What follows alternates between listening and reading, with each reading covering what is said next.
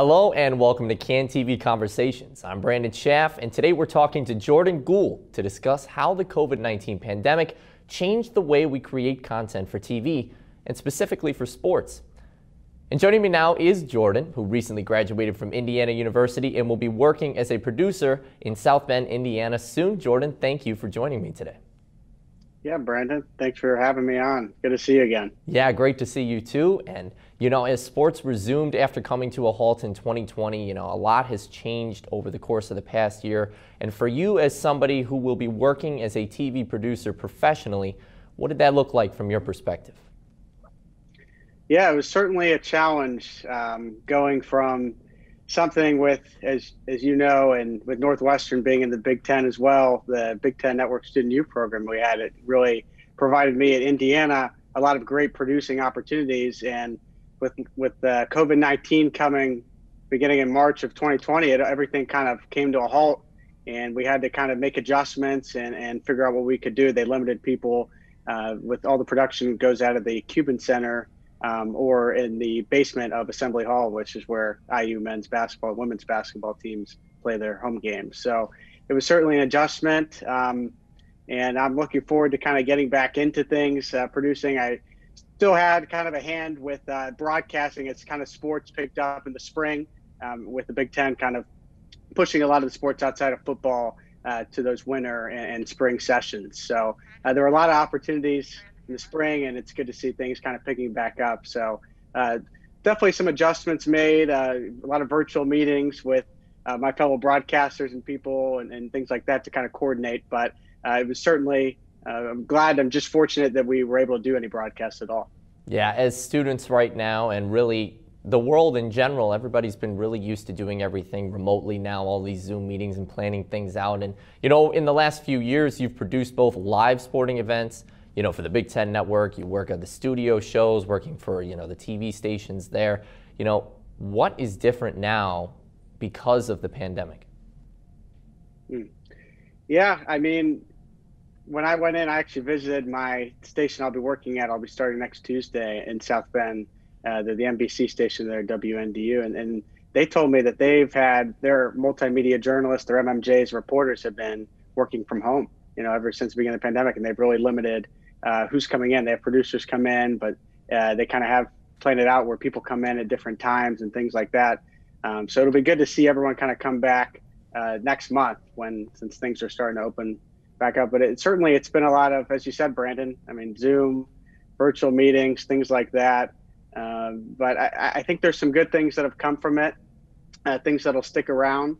Um, you know, and, and things I, I think it's hard to replicate. I mean, I, I'm a guy who likes working with people and having that social interaction. That's something that was certainly missed in this last year to year and a half. So to be able to go back inside a studio and, and to work with people and collaborate, you know, together in the same room is something that I, I think it just can't be replicated, you know, over a screen. What I'm doing like with you here today. Right. Uh, but there's certainly good things living in 2021 that we are with technology improving, uh, this is something that you know I'll imagine will will stay around, and and I don't think it might become maybe necessarily the most mainstream form of communication, but it'll certainly be one that'll kind of stay in the fold and, and be an option for uh, in the professional industry. Uh, I think for years to come. You know, you bring up an interesting point: the idea that everything is you know because it's remote a part of that human to human interaction is lost. And you kind of see that, you know, from the media's perspective, covering everything and talking to sources and things like that. In the newsroom and in the production room, do you feel like it has made your job more difficult as a producer to be able to do what you do? Um, I would say maybe a little bit, because uh, I, I think you know there there was a set schedule, um, you know, before COVID, you know, broadcasters would be on site. I would be, you know, on site as well. So, you know, for instance, with uh, a basketball game, right? Like I worked like a men's game a couple years ago, and like I was saying earlier, so the the control room where we work out of was in in the basement of Assembly Hall, and the broadcasters would be, you know, for women's or men's game would just be right outside. So I just kind of walk right out, communicate them, communicate with them the message, kind of the game plan what's our pregame coverage going to look like? How are we going to open the broadcast? Uh, there any hits you want to do? What graphics? uh, any specific camera shots I can relay to the director, uh, things like that. And I would say those things can still be done over Zoom or things like that. But as I was saying, I, I think maybe some things can be lost in translation or maybe hard to visualize. I'm a visual learner, so I like to you know interact with people uh, in, in, person, you know, to kind of understand and relay messages. So maybe that's something that gets lost in the shuffle uh, over you know internet or however you want to do it. But I, I still think the job could be done. It's just a little different. Yeah, and I mean, as things have evolved, you know, you've been able to pivot accordingly. You know, you've been able to still do the job to the best of your abilities. And I, I wonder, from that production standpoint, do you ever see things kind of going back fully to the way that they were before?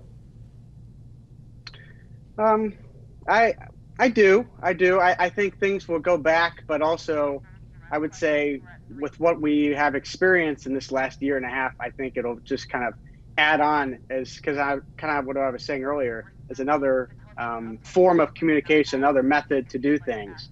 Uh, you know, we, have seen, you know, you've watched ESPN or, or Fox or CBS in their coverage, or, or even TNT with the NBA playoffs right now, and you know they're able to do a lot of interviews and stuff.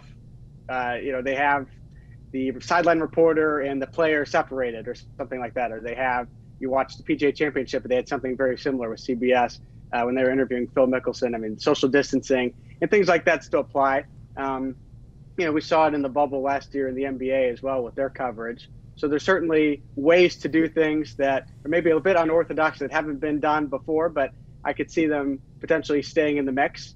Um, so yeah, I, I mean, I, I, do think there's things that'll stick around, but I do see uh, most things returning to as they were.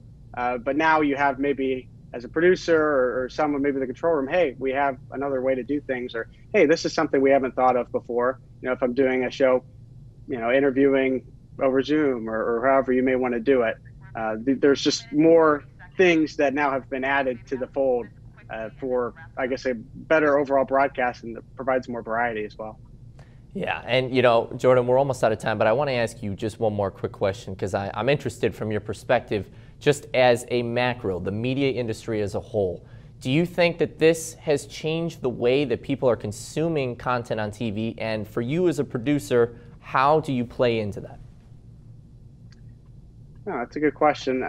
I do think I do think things have maybe changed a little bit from the consumption, but uh, oh, I, I think with any industry, I, I, think the pandemic has proven that we as a society can still function and still move on, you know, despite a uh, major disruption in our, you know, economy, our, uh, you know, media industries, uh, whatever it may be. We, we found ways to adapt, and that's, that's what we've always done as, as, as a, you know, the, the human race. I mean, you, you go back, we've always found a way to persevere and kind of figure out ways to adapt and as new technology is coming into the fold, things change, and, and I think the same thing could be applied to you know our industry, Brandon, with with media. I mean, certainly TV is ever changing. I mean, there's some certain things that'll always be rooted fundamentally, but um, that's kind of part of what we're doing is we have to find ways to adapt and kind of figure out, hey, you know, as a consumer, you know, what's something that's sticking right now, or what do people want to see?